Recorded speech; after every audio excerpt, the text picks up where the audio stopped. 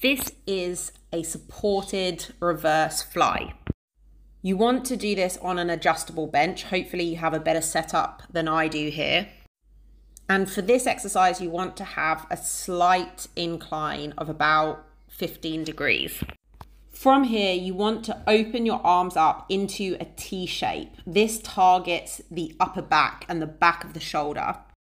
You want to use very light weights here. This is about three kilos, and you want to have a slight bend in your elbow.